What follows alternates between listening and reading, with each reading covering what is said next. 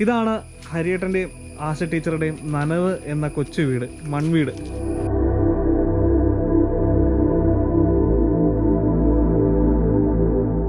ഈ വീട്ടിലോട്ടുള്ള ആവശ്യമായ സാധനങ്ങളൊക്കെ ഇവർ സ്വന്തം കൃഷി ചെയ്തെടുക്കുകയാണ്.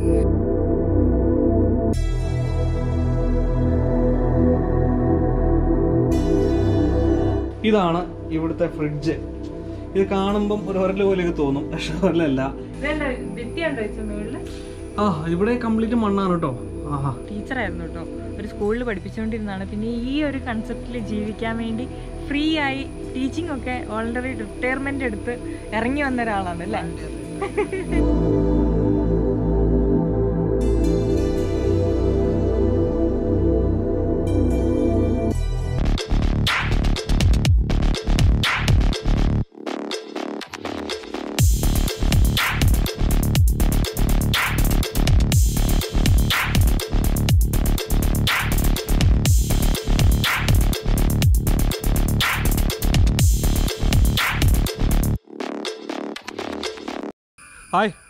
കമോൺ എവരിബിയുടെ പുതിയൊരു എപ്പിസോഡിലേക്ക് എല്ലാവർക്കും സ്വാഗതം.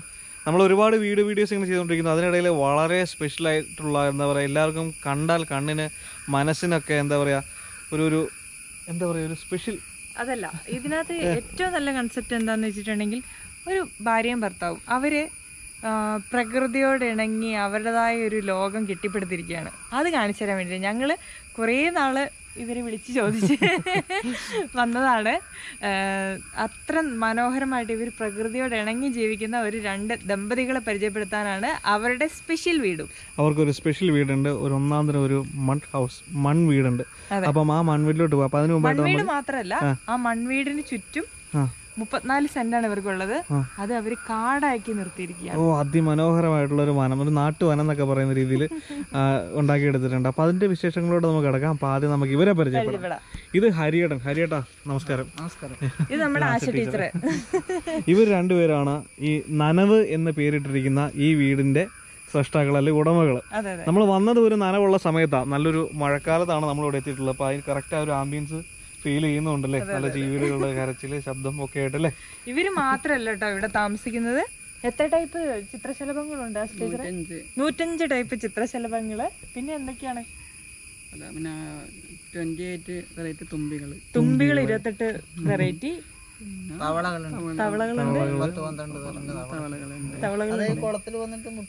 അവിടെ ഒരു കുഞ്ഞു കുളമൊക്കെ ഉണ്ട് കേട്ടോ. അത് കാണിച്ചു നമ്മൾ നമ്മൾ കാണിച്ചു തരാം. നമ്മൾ ഇപ്പൊ വീടിന് മുറ്റത്തുനിന്ന് കുറച്ച് മാറിയിട്ടുള്ള തൊടിയിലാണ് നിൽക്കുന്നത്. ഇനി മുറ്റത്തോട്ട് പോവാം. വീട് ഇതാ പുറകിൽ കേട്ടോ. വിശേഷങ്ങളും വീടിന്റെ നിർമ്മാണ പ്രവൃത്തിയെ പറ്റിയിട്ടുള്ള കുറെ കാര്യങ്ങളൊക്കെ നമുക്ക് അപ്പം ചോദിച്ചറിയാം. ഒരുപാട് ഒരുപാട് കാര്യങ്ങൾ ഇവർ നമുക്ക് പറഞ്ഞു തരാനുണ്ട് കേട്ടോ. അതെ അതെ. നമ്മൾ പഠിക്കേണ്ട ചില പാഠങ്ങളുണ്ട് അതിനകത്ത്. ചിലയല്ല മുഴുവനും പാഠങ്ങൾ തന്നെയാണ്. പാഠങ്ങൾ തന്നെയാണ്. ഇവർ രണ്ടുപേരും പരിസ്ഥിതി പ്രവർത്തകർ കൂടിയാണ് ആ രീതിയിൽ നല്ല രീതിയിൽ സമൂഹത്തിൽ ഒത്തിരിയേറെ പ്രവർത്തനങ്ങളിൽ മുഴുകി ജീവിക്കുന്നവരുമാണ്. അതിന്റെ എല്ലാ വിശേഷങ്ങളും നമ്മൾ ഈ എപ്പിസോഡിൽ ഉൾപ്പെടുത്തുന്നതാണ്. തീർച്ചയായിട്ടും. അപ്പൊ ഹരിയുടെ ആസ്വദിച്ചേ നമുക്ക് വീട്ടിലോട്ട് മെല്ലെ പോയല്ലോ. നനവിലേക്ക് പോയല്ലോ. വാ.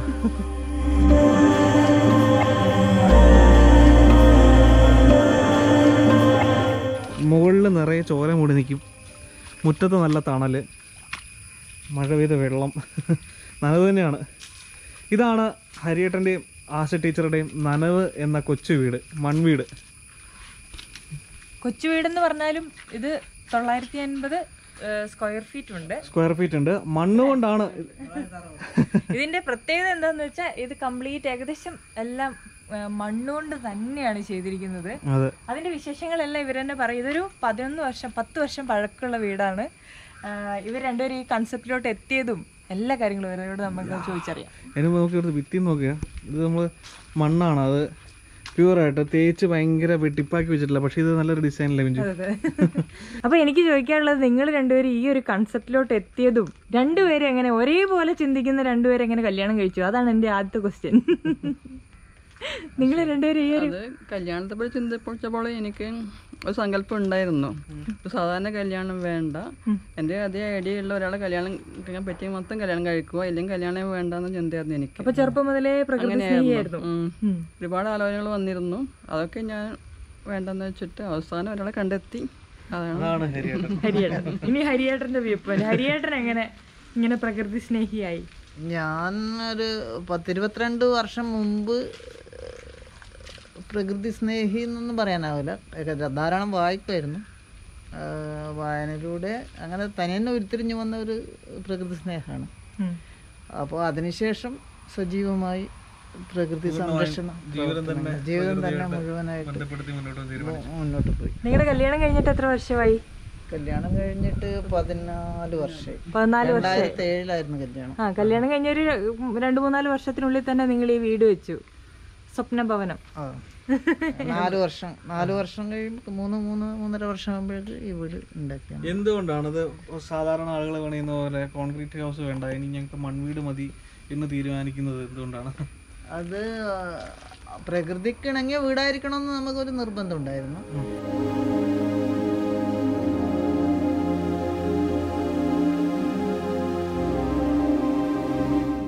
മണ്ണൊക്കെ അല്ലാതെ ഉപയോഗിച്ചത് അല്പം ഇഷ്ടിക ഉപയോഗിച്ചിട്ടുണ്ട്. തറ കല്ലാണ്. തറ കല്ല് കല്ല് കെട്ടിയ തറ. അതേപോലെ കുറച്ച് സ്ഥലത്ത് പിന്നെ ഓട് വെച്ചിട്ടുള്ള കോൺക്രീറ്റ് ചെയ്തിട്ടുണ്ട്. ഓട് പകുതി പില്ലർ കോൺക്രീറ്റ് എന്ന് പറയുന്നില്ലേ? അപ്പൊ അത് നാൽപ്പത് ശതമാനം അതിന്റെ സാധാരണ കോൺക്രീറ്റിനെക്കാട്ടി നാൽപ്പത് ശതമാനം കുറഞ്ഞിട്ട് അതിന്റെ ഇതുള്ളൂ. അത് കുറച്ച് ഏറിയ. ബാക്കി മരം മരം പിന്നെ എത്ര ലക്ഷം രൂപ ചെലവായി ഈ വീടിന്? വീടിന് മാത്രമായിട്ട് മൂന്ന് ലക്ഷം രൂപയെ ചെലവായി മൂന്ന് ലക്ഷം രൂപ മാത്രമേ ചെലവായുള്ളൂ. കിണറടക്കം നാല് ലക്ഷം രൂപ. കിണറിന് തന്നെ ഒരു ലക്ഷം രൂപയിൽ മേലെയായി. കാരണം ഇരുപത്തൊന്ന് കോൽ കല്ല് വെച്ച് കെട്ടിയിട്ട് ആ വലിയൊരു കിണറുണ്ടല്ലേ? അത് നമുക്ക് കാണാം കേട്ടോ. ഇത് വീടിന്റെ മുന്നിൽ നിന്ന് നോക്കുമ്പോൾ ഒരു ആശ്രമം ഫീലാണ് നമ്മൾ അതെ അതെ അതെ. കഥകളി വായിച്ചിട്ടുള്ള അല്ലെങ്കിൽ മുനിമാർ തപസ്സിരിക്കുന്ന ഒരു ആശ്രമം എന്നൊക്കെ പറയുന്ന പോലെ. ആ രണ്ട് മുനിമാർ തപസരിക്കുന്ന ആശ്രമം തന്നെയാണ് അപ്പൊ അത് മാത്രമല്ല ഇവിടുന്ന് മുറ്റത്തോട്ട് നോക്കുമ്പോൾ ഒരു ഒന്നാന്തര ഒരു കുളം കാണാം. ഒരു രസമുള്ള ഒരു കുളം. ആ കുളത്തിന് ചുറ്റും നല്ല കാടുകളൊക്കെ ആയിട്ടല്ലേ? ഒരു ബൊട്ടാണിക്കൽ ഗാർഡന്റെ ആ ഇവിടെ ഇരിക്കാം ഇവിടെ ഇരുന്ന് ഈവനിങ് ഒക്കെ സ്പെൻഡ് ചെയ്യാൻ പറ്റിയ അല്ലേ? ഈ വീട് മാത്രമല്ല ഈ വീട് മുപ്പത്തിനാല് സെന്റ് നിറയെ കാഴ്ചകൾ തന്നെയാണ്. ഒരു വിവിധ തരത്തിലുള്ള മുളകളുണ്ട്. അത് മാത്രമല്ല ഇവിടെ വരുന്ന അതിഥികൾക്ക് അതിഥികൾ എന്ന് പറഞ്ഞാൽ പക്ഷികൾക്കൊക്കെ കുടിക്കാനായിട്ട് വെള്ളം വെക്കുന്ന മൺചട്ടികളുണ്ട്. കുടിക്കാനും കുളിക്കാനും. അതെ ഇവൻ മഴക്കാലത്ത് പോലും ആ ചട്ടികളോടെ ഉണ്ട്. മഴക്കാലത്ത് പോലും ഇപ്പോഴും മുടങ്ങാതെ വരുന്ന പക്ഷികളുണ്ട് അല്ലേ? അതെ അതെ. സ്ഥിരമായിട്ട് വരുന്ന ആളുകളുണ്ടെന്ന് പറഞ്ഞു. ദിവസം രണ്ടു നേരം കുളിക്കുന്ന പക്ഷികൾ വരെ ഉണ്ടെന്ന് പറഞ്ഞു. നമ്മളെ പോലെ ഒന്നും നമ്മളെ പോലെ അല്ല ഈ വീട് കണ്ടോ? നമ്മൾ ആയിട്ടുള്ള ഈ വീടിന്റെ പുറം വ്യൂവിൽ തന്നെ നോക്കുമ്പോ വീടിന്റെ മുകളിലോട്ട് വള്ളിച്ചെടികളൊക്കെ വളർത്തി. ആ ഒരു ഇവരുടെ പ്രകൃതി ജീവനം കറക്റ്റായിട്ട് വേണ്ട ഇവിടെ കാണാം. ഇത് ഓപ്പൺ ആണ് കേട്ടോ. ഈ ചില ജനാലകൾ വീടിന്റെ വശങ്ങളിലുള്ള ജനാലകൾ ഓപ്പൺ ആണ്. അത് കർട്ടൻ പോലും ഇട്ട് മറച്ചിട്ടില്ല. വേനൽക്കാലത്ത് ഈ വീടിന്റെ ഉള്ളിൽ നല്ല തണുപ്പായിരിക്കും അല്ലേ? മഴക്കാലത്ത് തണുപ്പ് ഇളം ചൂടുണ്ട്. ഇളം ചൂടുണ്ടാവും. ചിലപ്പോഴ് പിന്നെ ഫുൾ തണുപ്പായിട്ടുള്ള അവസ്ഥക്ക് നല്ല മൂടി പിടിച്ച് എപ്പോഴും മഴ പെയ്തുകൊണ്ടിരിക്കുമ്പോൾ കുറച്ച് തണുപ്പ് തണുപ്പ് കൂടും. ബാലൻസ്ഡ് ആണ് അല്ലെങ്കിൽ പൊതുവെ. ആഹാ. അടച്ചിട്ട് കഴിഞ്ഞിട്ട് നമ്മൾ എവിടെയും പോയി വരുമ്പോൾ ഉള്ളിൽ നല്ല ഒരു ഇളം ചൂടുള്ള കാലാവസ്ഥയായിരിക്കും. മഴക്കാലം വരുമ്പോൾ നമ്മൾ ഞാൻ ആദ്യമേ പരിചയപ്പെടുത്തിയപ്പം ആശ ടീച്ചർ എന്നാണ് വിളിച്ചത്. ടീച്ചറായിരുന്നു കേട്ടോ ഒരു സ്കൂളിൽ പഠിപ്പിച്ചുകൊണ്ടിരുന്നതാണ്. പിന്നെ ഈ ഒരു കൺസെപ്റ്റിൽ ജീവിക്കാൻ വേണ്ടി ഫ്രീ ആയി ടീച്ചിങ് ഒക്കെ ഓൾറെഡി റിട്ടയർമെന്റ് എടുത്ത് ഇറങ്ങി വന്ന ഒരാളാണ് അല്ലേ? ഞാൻ റിട്ടയർ ചെയ്യുന്നതിന് മുമ്പ് ആശ വാളണ്ടിയർ റിട്ടയർമെന്റ് എടുത്തു. എടുത്തു. ഞാൻ റിട്ടയർ ചെയ്തിട്ട് ഇപ്പോ നാല് വർഷമായി. ഹരിയേട്ടനും മാഷായിരുന്നു? ഞാൻ വാട്ടർ അതോറിറ്റിയില്ല വാട്ടർ അതോറിറ്റിയിലായിരുന്നു. റിട്ടയർ ചെയ്തിട്ട് നാല് വർഷമായി. നാല് വർഷമായി. ഇപ്പം പ്രകൃതിക്ക് വേണ്ടി തന്നെയാണ്. യാത്രകൾ നടത്തുന്നുണ്ടല്ലേ? യാത്രകൾ നടത്താറുണ്ട്.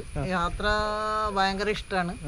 രണ്ടുപേർക്ക്? ഇവർ രണ്ടുപേരും ഒരുപാട് യാത്രകളൊക്കെ പോകുന്ന ആളുകളാണ് കേട്ടോ നമ്മളിങ്ങനെ സംസാരിച്ചപ്പോ ഞങ്ങളൊക്കെ പറയുകയാണെങ്കിൽ ഇപ്പം കുളു മണാലിയൊക്കെ പോകണം കറങ്ങാൻ പോകണം അങ്ങനെയൊക്കെയല്ലേ പറയുള്ളൂ. പക്ഷെ അങ്ങനെയല്ല. ഇവർ പോകുന്നത് അവിടെയുള്ള കർഷകരെ കുറേ സ്ഥലങ്ങളിൽ സഞ്ചരിച്ച് ഹിമാലയത്തിൽ ആ ഭാഗത്തൊക്കെ സഞ്ചരിച്ചിട്ടുണ്ട്. അവിടെ പോയിട്ടുള്ള എന്തിനാന്ന് വെച്ചിട്ടുണ്ടെങ്കിൽ അവിടെയുള്ള കർഷകരെ നേരിട്ട് കാണുക. ആ രീതിയിൽ അവിടെയുള്ള ജീവിതങ്ങളൊക്കെ നേരിട്ട് കണ്ട് മനസ്സിലാക്കുക. അവരേത് രീതിയിലാണ് പ്രകൃതിയോട് ഇണങ്ങി ജീവിക്കുന്നത്? അങ്ങനെ പഠനാവശ്യത്തിന് വേണ്ടിയിട്ടാണ് ഇവർ യാത്ര ചെയ്യുന്നത്. നല്ല രണ്ടുപേരും ഒരേ രീതി ചിന്തിക്കുന്നതുകൊണ്ട് ഒരു നല്ല ഫ്രഷ് വൈബ് ആയിരിക്കും അല്ലേ? അല്ലേ? പഠനാവശ്യം കൂടാതെ യാത്ര പിന്നെ മറ്റുള്ള സ്ഥലങ്ങൾ കാണുക എന്നുള്ള രണ്ട് ലക്ഷ്യം കൂടി വെച്ചിട്ടാണ് നമ്മൾ യാത്ര ചെയ്യാറ്. അപ്പോ ഇനിയും ഇനിയും ഒരുപാട് യാത്ര ചെയ്യണമെന്ന് ആഗ്രഹമുണ്ട്. പക്ഷേ ഇപ്പോഴത്തെ പ്രത്യേക സാഹചര്യത്തിൽ രണ്ടു വർഷമായിട്ട് യാത്രകളെല്ലാം മുടങ്ങിയിട്ടാണുള്ളത് യാത്രേന്റെ വേറൊരു കാര്യം കൂടി ഉണ്ട്. നമ്മൾ മനസ്സ് പെട്ടെന്ന് വികാസം പ്രാപിക്കാൻ യാത്ര അതെ നമ്മൾ ഈ ചേഞ്ച് ഉണ്ടാവാൻ. നാരോ അതായത് നാരോ വെള്ളിൽ നിന്ന് ഇവിടെയുള്ള പൊട്ടക്കണിലെ തവള എന്ന് പറയില്ലേ നമ്മൾ ഇവിടെയുള്ള ജീവിതമാണ് ഏറ്റവും വലുത്. അതെ. പിന്നെ ഇതായിട്ട് ഒരു വിശാലമായ ലോകത്തിലേക്ക് നമ്മൾ യാത്ര ചെയ്യുമ്പോൾ അതിനനുസരിച്ചിട്ട് മനസ്സും ഭയങ്കരമായിട്ട് വിശാലമായി ഇതൊക്കെ കേൾക്കുമ്പോഴാണ് നമ്മൾ ഇപ്പോഴത്തെ നമ്മൾ ചെറുപ്പക്കാരൊക്കെയാണ് എപ്പോഴും ട്രിപ്പ് പ്ലാൻ ചെയ്യും. കുറേ ട്രിപ്പ് പ്ലാൻ ചെയ്യും ഗ്രൂപ്പ് കൂടിയിട്ട് നമുക്ക് അടുത്തയാഴ്ച ബുള്ളറ്റ് എടുത്ത് ഇന്ന സ്ഥലത്തോട്ട് പോകാൻ പറയും. പ്ലാനിങ് മാത്രം മിച്ചം യാത്രകൾ നടക്കാറില്ല. അപ്പൊ ഇവരെ കണ്ടുപിടിക്കേണ്ടതാണോ ഇതൊക്കെ കേൾക്കുമ്പോഴാണ് നമ്മളൊക്കെ എടുത്തത് ആ കാണുന്ന കുളത്തിലിടാൻ ശരിയാണ്. ഇതിന്റെ മുകളിലോട്ട് കണ്ടോ? ഈ വീടിന്റെ മുകളിൽ ഫാഷൻ ഫ്രൂട്ട് കൃഷി ചെയ്യാനായിട്ട് ഒരു റൂഫ് ചെയ്തിട്ടുണ്ട്. എന്ത് മെറ്റീരിയൽ ആണ് റൂഫ്? പോളികാർബണേറ്റ് ഷീറ്റ് വെച്ചിട്ട് വെളിച്ചം അകത്തേക്ക് വരാൻ വേണ്ടിയിട്ട് പോളികാർബണേറ്റ് ഷീറ്റ് വെച്ചിട്ടാണ് മഴ മറക്കൊക്കെ ആ ഓക്കെ. മഴമറക്കൊക്കെ ചെയ്യുന്ന ഷീറ്റാണ് ഈ വീട്ടിലോട്ടുള്ള ആവശ്യമായ സാധനങ്ങളൊക്കെ ഇവർ സ്വന്തം കൃഷി ചെയ്തെടുക്കാണ്. അല്ലേ? വയലുണ്ട്. അരിയൊന്നും പുറത്തുനിന്ന് മേടിക്കാറേ ഇല്ല. എന്തൊക്കെ അത്യാവശ്യം ചില സാധനങ്ങൾ മാത്രമേ നിങ്ങൾ കടയിൽ പോയി കാശ് കൊടുത്ത് മേടിക്കാറുള്ളൂ. അല്ലേ? ഏകദേശം ഒരു എഴുപത് ശതമാനത്തോളം ഭക്ഷ്യവസ്തുക്കൾ നമ്മൾ തന്നെ ഉണ്ടാക്കുക. നമുക്ക് കിട്ടാതെ ലഭിക്കാതെ കുറെ സാധനങ്ങൾ. കഴിഞ്ഞ ഇരുപത്തിരണ്ട് വർഷമായിട്ട് മരുന്ന് മേടിച്ചിട്ടില്ലെന്ന് പറയുന്നത് അല്ലേ? അതെ. പുറമേ ഒരു മരുന്ന് മേടിച്ച് കഴിച്ചിട്ടില്ല. ഇല്ല ഇല്ല ഇല്ല. ഭക്ഷണമാണ്. ഭക്ഷണം. വിഷമില്ലാത്ത ഭക്ഷണം. ഭക്ഷണത്തിന്റെ കാര്യം എന്താന്ന് പറഞ്ഞു കഴിഞ്ഞാൽ നല്ല സന്തുലിതമായ ആഹാരം കഴിക്കുക എന്നുള്ളതാണ് ഏറ്റവും പ്രധാനപ്പെട്ട കാര്യം. നമ്മൾ കൃഷി ചെയ്യുമ്പോൾ സാധാരണഗതിയിൽ വളം പോലും ഉപയോഗിക്കാറില്ല അധികം. ഈ കളകൾ തന്നെ ഉപയോഗിച്ച അതാ സ്ഥലത്ത് ഉണ്ടാവുന്ന കളകൾ വളമാക്കി മാറ്റുക വളം ഉപയോഗിക്കാറില്ല. വളം എന്ന് പറഞ്ഞു കഴിഞ്ഞാൽ അത്യാവശ്യം അല്പം കുറച്ച് ചാണകപ്പൊടി അല്ലെങ്കിൽ അങ്ങനെ അങ്ങനെയുള്ള വളങ്ങളല്ലാതെ വേറെ ഒന്നും ഉപയോഗിക്കാറില്ല. അപ്പോൾ അങ്ങനെയുള്ള സന്തുലിതമായ ഭക്ഷണമാണ് കഴിക്കാറ്. അത് പുറമേ നിന്ന് കിട്ടുന്നുണ്ടെങ്കിൽ അത്തരം അഥവാ നമ്മൾ പിന്നെ കർഷകർ പല കർഷകരുണ്ട്. അവരെടുക്കുന്ന പങ്കുവെച്ചിട്ട് അവർ തരുന്ന കുറച്ച് സാധനങ്ങൾ ചിലപ്പോൾ നമ്മൾ അങ്ങോട്ടേക്ക് പങ്കുവെക്കും ആ രീതിയിലാണ് നമ്മൾ നിങ്ങൾ രണ്ടുപേരും അപ്പൊ കൃഷി നിങ്ങൾ രണ്ടുപേരും കൂടെ അങ്ങ് ചെയ്യും. എല്ലാ പണിയും ഞങ്ങൾ തന്നെയാണ് എല്ലാ പണി സീറോ ആണ് നമ്മുടെ കൃഷി. കാരണം ഒന്ന് ഒന്ന് കൃഷി നഷ്ടം പ്രകൃതി എന്തെങ്കിലും വന്ന് അതിവർഷം വന്ന് നശിച്ചു പോയി കഴിഞ്ഞ് കഴിഞ്ഞാൽ നമുക്ക് നഷ്ടപ്പെടാനൊന്നുമില്ല. നമ്മുടെ മുതൽ മുടക്കൊന്നുമില്ല പണം എന്ന് പറയുന്ന പണം മുടക്കായിട്ട് ഒന്നും ചെയ്യാറില്ല. ഈ കൃഷിക്ക് വേണ്ടി വ്യാവസായിക അടിസ്ഥാനത്തിൽ കൃഷി ചെയ്യുമ്പോഴാണ് കൃഷിയൊക്കെ അങ്ങനെ തന്നെയാണ് ചെയ്യുന്നത്? അവിടെ തേങ്ങ ഇടാനും കുരുമുളക് പറിക്കാനും ആളെ വിളിക്കാറില്ല. ബാക്കി ആവാത്തതുകൊണ്ട് ബാക്കി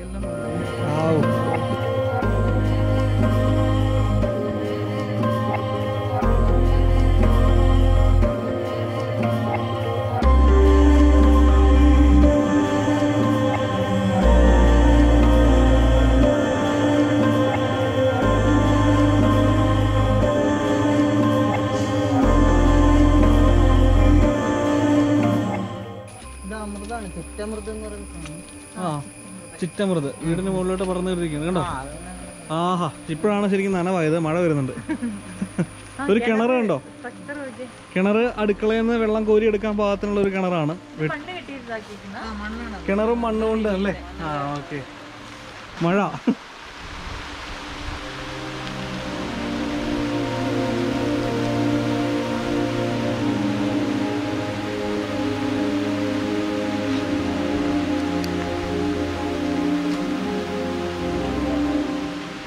അപ്പൊ നമ്മൾ ഈ നനവിന്റെ ഉള്ളിലേക്ക് വീടിന്റെ ഉള്ളിലേക്ക് കയറാൻ പോകണം കേട്ടോ. ഉള്ളിൽ കുറച്ച് സ്പെഷ്യൽ കാഴ്ചകളുണ്ട്. അല്ലേ? ഇവിടെ തുടക്കം തന്നെ പറയട്ടെ. ഉണ്ട് എല്ലാ സ്വിച്ച് ബോർഡും കാണാൻ ഭയങ്കര രസമാണ് കേട്ടോ. ഇതുപോലെ എന്തെങ്കിലും ഒരു സ്ട്രക്ചർ ആയിരിക്കും. ഇത് അടച്ചു അടിച്ചു എന്താ പറയാ? ചോറിന്റെ അടച്ചു ചോറ് വറക്കുന്ന ഇതുപോലെ. അങ്ങനത്തെ എന്തൊക്കെയാ സ്ട്രക്ചർ അല്ലേ? അത് ആരുടെ ഐഡിയ നിങ്ങളുടെ? ആ അതാ മണി അങ്ങനെ വേണം കയറാൻ അല്ലേ? നമുക്ക് അകത്തേക്ക് കിടക്കാം അല്ലേ? മണ്ണ് ചുവരുകൾ. ഇത് മണ്ണുകൊണ്ട് മണ്ണ് കൊണ്ട് തന്നെ പെയിന്റ് ചെയ്തിരിക്കുന്നില്ലേ ഇത്? മണ്ണ് കൊണ്ട് മണ്ണ് കുഴച്ച് തേച്ചാണല്ലേ ഈ ചുവരുകളെല്ലാം ഇതുപോലെ തന്നെ മണ്ണ് തേച്ച് എടുത്തിരിക്കുന്നതാണ്. അതുപോലെ ഈ പ്രധാന ആകർഷണം എന്ന് പറഞ്ഞ ഈ വീടിന്റെ ഇതുപോലെയുള്ള ഓപ്പൺ വാതിലുകളും ജനലുകളും. അത് അതിങ്ങനെ? എന്താ പറയാ? പുറമേന്ന് ഡയറക്റ്റ് ഒരു അറ്റാക്ക് ഇല്ലാത്ത രീതിയിൽ നല്ല രീതിയിൽ ക്ലോസ്ഡ് ആണ് ശരിക്കും. പക്ഷെ അടഞ്ഞതാണോ എന്നാണ് അന്ന് അടഞ്ഞതല്ലേ വാതിലുകൾ അത് പിൻവാശ പിൻവശത്തെ വാതിലുകളും അങ്ങനെ തന്നെയാണ് കേട്ടോ. വാ ഉള്ളിലോട്ട് കയറാം ഇതാണ് ഈ വീടിന്റെ ഉൾവശം. മുകൾ ഭാഗം ഓടാണല്ലേ? ഓട് പതിപ്പിച്ച്. ആ ഓട് കോൺക്രീറ്റ് ചെയ്തിട്ടുണ്ട് അല്ലേ അത് മാത്രമേ ഉള്ളൂ. ബാക്കി എല്ലാം മണ്ണാണ് മൺചുവരുകൾ ഒരു മുറിയാണ് അല്ലേ ഒറ്റ മുറി. ആ, ഓക്കെ ആ ഒരു ബെഡ്റൂം ഉണ്ട് അവിടെ.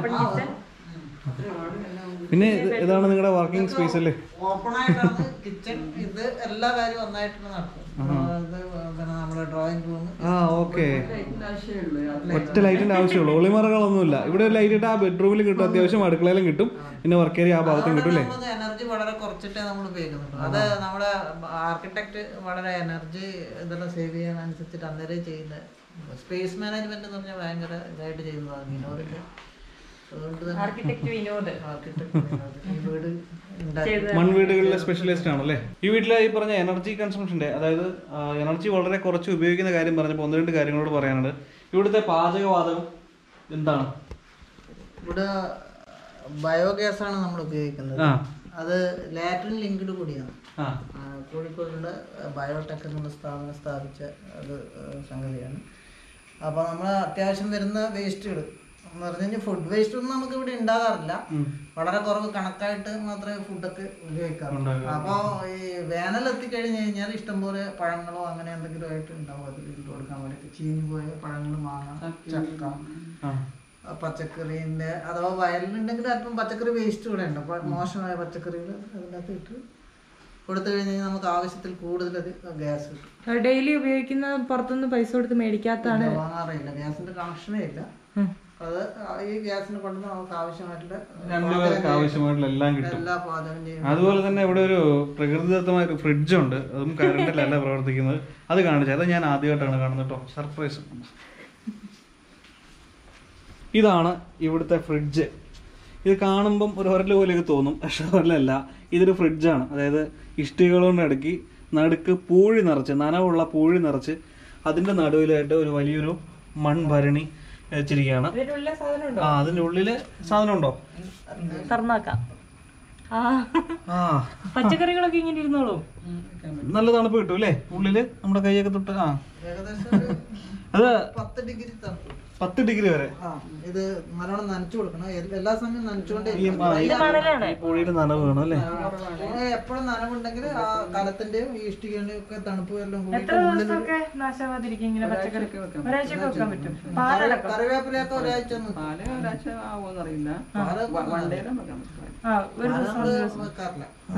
ശരി. ഇത്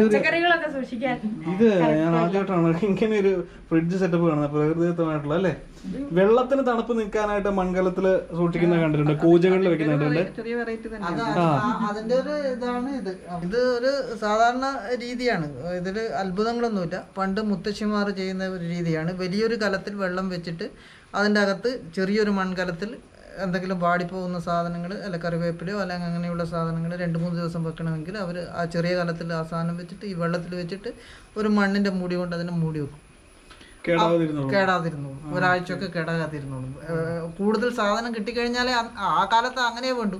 അതെ. നമ്മുടെ കൂടുതൽ സാധനം കിട്ടിക്കഴിഞ്ഞാൽ ഒരാഴ്ച നിൽക്കാൻ വേണ്ടിട്ട് അങ്ങനെ ചെയ്യുന്ന രീതിയാണ്. അതിന്റെ ഒരു ഒരു ഇപ്പോഴത്തെ ഒരു വേർഷൻ ഒരു നമ്മൾ അതിനൊരു പുതുക്കി എന്നുള്ള രീതിയും ഉള്ളതല്ല ഇതും നമുക്ക് പുതുതലമുറയ്ക്ക് ഒരു അറിവാണല്ലോ ആ ഇവിടെ കംപ്ലീറ്റ് മണ്ണാണ് കേട്ടോ. ആഹാ. രസമുള്ള ഒരു കാഴ്ച. ഇത് മണ്ണ് തേച്ചിട്ടൊന്നുമില്ല പതിപ്പിച്ച് പിടിപ്പിക്കുന്നത് പ്രത്യേകമായിട്ടുള്ള ഒരു ഇങ്ങനെ വാരി എറിഞ്ഞു പിടിപ്പിച്ച്. ആ മണ്ണ് സംസ്കരിച്ചിട്ടാണോ ചെയ്തിരിക്കുന്നത്? ആ ഇത് ചവിട്ടിക്കുഴച്ച് ഒരു പ- പത്ത് ദിവസത്തോളം ചവിട്ടിക്കുഴച്ച് വെക്കും. എന്ത് മണ്ണാണ് ഉപയോഗിച്ചിരിക്കുന്നത്? സാധാരണ ഇവിടെ സാധാരണ നമ്മൾ പറമ്പിലെടുത്ത മണ്ണാണ് ചുവന്ന മണ്ണാണ് ഉപയോഗിച്ചിരിക്കുന്നത് അല്ലേ? ഓക്കെ. അത് അങ്ങനെ എറിഞ്ഞ് പിടി തേച്ച് പിടിപ്പിച്ച തേച്ച് പിടിപ്പിക്കാത്തൊരു ഒരു ഭംഗിയുണ്ടല്ലോ ഇഞ്ചി ഒരു പ്രത്യേക ഭംഗിയുണ്ട്. സാധാരണ മൺവീട് പോലെയല്ല. ഇപ്പൊ ഇവൻ ഈ ഭിത്തി കണ്ടിട്ടുണ്ടെങ്കിൽ ഇതുപോലത്തെ മൺ തേച്ച് ഇതാക്കിയതാണ് കൂടിയിട്ടല്ല. പക്ഷെ നമ്മൾ ഓർഡിനറി ആയിട്ട് കുറെ കണ്ടിട്ടുണ്ട് അത് മട്ട് മഡ് ഹൗസുകൾ ഇതിങ്ങനെ എറിച്ചു നിൽക്കുന്ന ഒരു ഭംഗിയായിട്ട് എനിക്ക് തോന്നി. മഴവെള്ള സംഭരണി. ഓപ്പൺ ആണ്. നേരെ ഡയറക്റ്റ് ഇങ്ങോട്ട് വീഴും. ഒരു രണ്ട് മീറ്റർ ഇങ്ങോട്ട് മണ്ണിലൂടെ തന്നെ ശുദ്ധീകരിച്ചിട്ട് കിണറിലേക്ക് പോകും. ഓക്കെ നേരെ ഡയറക്റ്റ് കിണറ്റിലോട്ട് ശുദ്ധീകരിച്ച് പോകുന്ന പറയുന്നത്. പിന്നെ ഒരു സോളാർ പാനൽ ഉണ്ട് കേട്ടോ ഇവിടെ തന്നെ. നമ്മുടെ വീടിന്റെ മുകൾ വശം? ഇവിടെ ഒരു പാഷൻ ഫ്രൂട്ടിന്റെ ഒരു ചെറിയ പന്തൽ ഇട്ടിട്ടുണ്ട് കേട്ടോ. ഉള്ള മുഴുവൻ കാണാൻ പറ്റുമെന്ന് വെച്ചാൽ മുഴുവൻ കാണാൻ പറ്റത്തില്ല. കാരണം നിറയെ മരങ്ങളുണ്ട് കേട്ടോ. അതുകൊണ്ട്. പക്ഷെ നിറയെ പച്ചപ്പാ. ഇതാ ഹരിയേട്ടന്റെ പശുക്കൾ വരുന്നുണ്ട് കേട്ടോ. ബാ ബാ ബാ ബാ ബാ.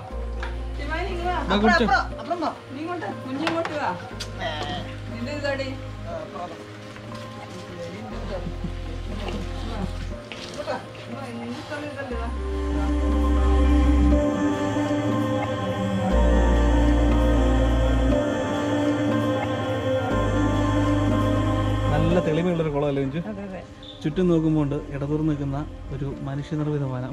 വനം തന്നെ വേണം പറയാൻ അല്ലേ ഇതിനാണ് അക്ഷരാർത്ഥത്തിൽ പ്രകൃതി ജീവനം എന്ന് പറയുന്നത്. പ്രകൃതി ജീവനം. ശരിക്കും പറഞ്ഞിട്ടുണ്ടെങ്കിൽ ഇവർ ഇവർ നമ്മളെ ജീവിച്ച് കാണിക്കുകയാണ് എങ്ങനെയാണ് ജീവിക്കേണ്ടതെന്ന്. അതെ. അല്ലേ? രണ്ടുപേരും കൂടെ നല്ല പ്രകൃതിയൊക്കെ ആസ്വദിച്ച്. രണ്ടുപേരും നനവുള്ള വീട്ടിൽ നനവെന്ന് പേരിട്ടിരിക്കുന്ന വീട്ടിൽ നനവ് ആസ്വദിച്ചുകൊണ്ടിരിക്കുകയാണല്ലേ മഴക്കാലം. അല്ലേ? മഴക്കാലത്തിലാണ്. അപ്പോൾ എന്തായാലും കമോൺ എവരിബിഡിയുടെ വ്ളോഗ് വ്ളോഗിങ് ഹിസ്റ്ററിയിൽ അതായത് ഹൗസ് വ്ളോഗിങ് ഹിസ്റ്ററിയിൽ നമ്മളെന്താ പറയുക വളരെ സാറ്റിസ്ഫൈഡ് ആയിട്ടുള്ള മറ്റൊരു വ്ളോഗ് കൂടെ ചെയ്തിട്ടുണ്ട് നമ്മൾ ഇങ്ങനെ മനസ്സിലെന്നും ഓർത്തിരിക്കുക നമ്മൾ ഇവിടെ പോയി ഷൂട്ട് ചെയ്തല്ലോ എന്ന് അതെ അതെ. ഒരു നനവുള്ള എന്താ പറയുക ഒരു ഒരു ഊർജം തരുന്ന ഒരു ഓർമ്മയായിട്ട് ഈ വ്ളോഗ് എപ്പോഴും ഉണ്ടാവും. അപ്പോൾ നിങ്ങൾ എല്ലാവരും ഈ വ്ളോഗ് മുഴുവൻ കാണണം കേട്ടോ. അതെ അല്ലേ? ഇവർ രണ്ടുപേരും ശരിക്കും ഒരു മാതൃക പാഠങ്ങളാണ്. എങ്ങനെ പ്രകൃതിയോട് ഇണങ്ങി ജീവിക്കുക എന്നുള്ളത്. അത് ഇവരെ കുറിച്ച് കൂടുതൽ അറിഞ്ഞാലേ ഇവർ രണ്ടുപേരും പുസ്തകം എഴുതിയോന്ന് ഞാൻ വന്നവിടെ ചോദിച്ചു. എന്തെങ്കിലും ആ രീതിയിൽ ബാക്കിയുള്ളവർക്ക് കൊടുക്കാൻ എന്തെങ്കിലുമൊക്കെ ഇവർക്ക് ഉണ്ടെന്ന് എനിക്ക് കണ്ടപാടെ തോന്നി. രണ്ടുപേരും ഹൈലി പ്രൊഫഷണൽസ് ആണ്. അപ്പൊ ആ രീതിയിലൊക്കെ എന്തെങ്കിലും നമുക്ക് ഇവരുടെ അടുത്ത് നിന്ന് ഫ്യൂച്ചറിൽ എക്സ്പെക്ട് ചെയ്യാന്ന് ഞാൻ വിചാരിക്കുന്നു. അല്ലേ?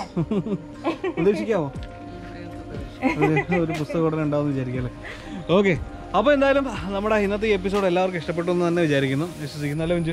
യെസ് അപ്പോൾ ഈ ചാനൽ സബ്സ്ക്രൈബ് ചെയ്യുക കമന്റ് ചെയ്യുക. തുടർന്നും ഇതുപോലത്തെ വെറൈറ്റീസ് ആയിട്ടുള്ള അടിപൊളി വീഡിയോസൊക്കെ കാണണമെങ്കിൽ എന്തായാലും സബ്സ്ക്രൈബ് ചെയ്യാം അപ്പോൾ പുതിയൊരു നല്ലൊരു വീടിന്റെ അല്ലെങ്കിൽ മറ്റൊരു സ്പെഷ്യൽ വെറൈറ്റി എപ്പിസോഡ് നമ്മൾ വീണ്ടും വരുന്നതായിരിക്കും. ഹലോ ഇഞ്ചു അതെ അതെ. അതുവരെ എല്ലാവർക്കും ഹരിയേട്ടന്റെയും ആശ് ടീച്ചറിനെയും വക. Bye bye